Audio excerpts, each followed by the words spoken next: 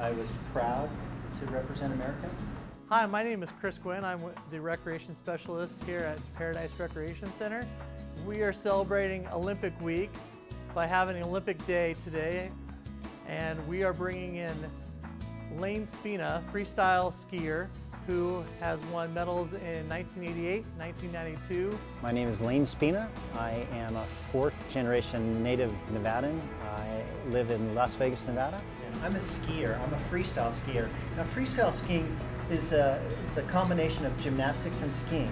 And so we do jumps and aerial maneuvers and moguls and these types of things. One of the interesting pieces about being in the Olympics is that it's a very unique experience. It's very intense at the time you're going through it. So it's really only after the fact that I can really get into the details and share them with the kids that may be thinking of that as their future. And uh, every time I give it, I learn something new about, about the experience, really, in, in bringing it back up. So it's important to share and, and keep them motivated for the future. We're lucky to have these guest speakers come to our recreation centers. They provide a valuable service for our youth and recently at Cora Coleman Senior Center we had Rudy Ruettiger come speak to the seniors about his life and his achievements.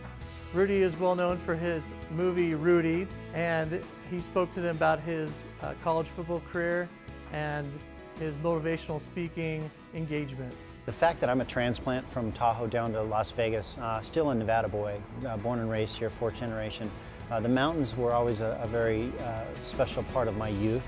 Uh, and the mountains and the Olympics incorporate a lot of different sports and activities and opportunities. So we want to make sure that they see those opportunities. They're here. The natural wonders out here on the West Coast specifically are, are very, very unique and very valuable. And for them to, uh, you know, do things like this recreation center and take part in sport, and also do the sports that are outside is, specifically, I think, is very important to their, you know, their well-being. Uh, we are always looking forward to having these type of programs here, and they are offered at many of our recreation sites throughout the valley.